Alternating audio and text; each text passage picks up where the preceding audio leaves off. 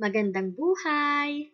Narito ako muli, ang inyong guro, upang talakayin sa Araling Panlipunan 2, Aralin 8, Week 8, ang paksang Wastong gawain, pagkilo sa tahanan at sa komunidad sa panahon ng kalamidad. Mahalagang malaman at maunawaan mo ang kahalagahan ng kinabibilangan mong kapaligiran at matukoy ang mga uri ng panahon sa iyong komunidad. Mahalaga ring malaman ang mga natural na kalamidad o sakuna upang malaman at maunawaan ang epekto nito sa iyong komunidad. Gawain sa pagkatuto bilang isa. Tignan at suriin ang bawat larawan. Sagutin ang mga tanong. Unang larawan. Narito ang tanong.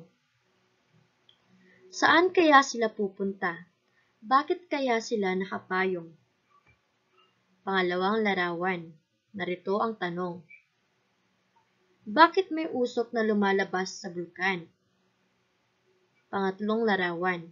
Narito ang tanong.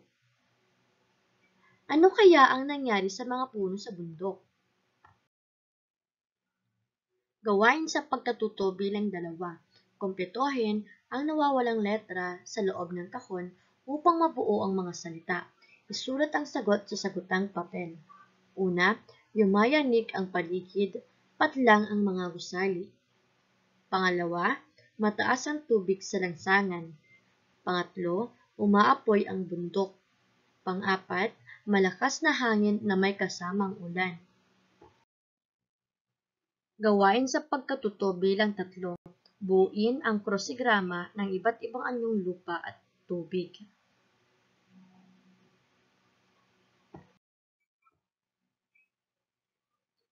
Ang komunidad ay may iba't ibang kalamidad o sakuna na nararanasan at ang bawat kalamidad o sakuna ay mayroong epekto sa mga tao, bagay, hayop sa ating kapaligiran.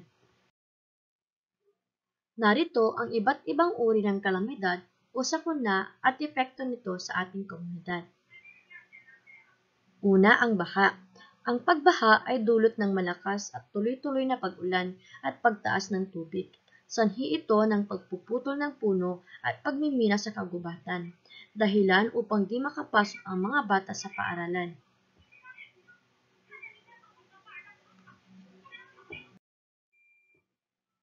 Pangalawa, ang lindol. Ang lindol ay ang pagyanig ng lupa, sanhi upang masira ang mga estruktura, bahay at kalsada ng isang komunidad. Pangatlo, bagyo. Ang bagyo ay malakas na hangin na may kasamang pag-ulan.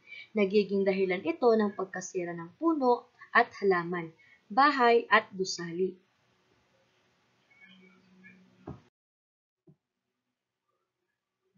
Pang-apat, sunog sa bundok. Ang sunog ay nangyayari sa bundok dahil sa matinding init ng panahon.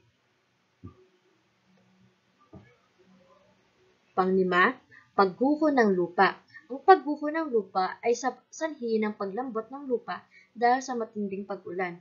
Nangyayari ito dahil sa pagputol ng mga puno o pagmimina.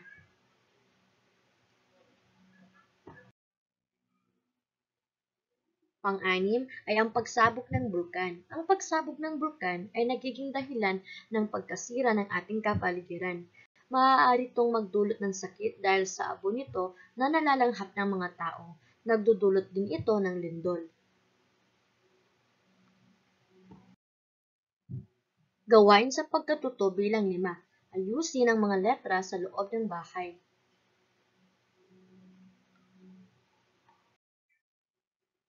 Tandaan, may mga natural na kalamidad o sakuna na nagaganap tulad ng lindol, baha, sunog sa gubat, bagyo, pagsabog ng bulkan at pagguho ng lupa.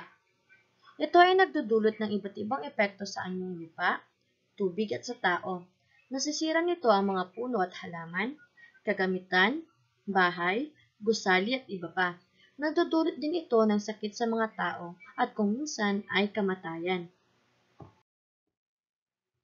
Dito nagtatapos ang ating aralin ngayong araw. Maraming salamat mga bata sa inyong pakikinig. Hanggang sa muli, paalam, God bless!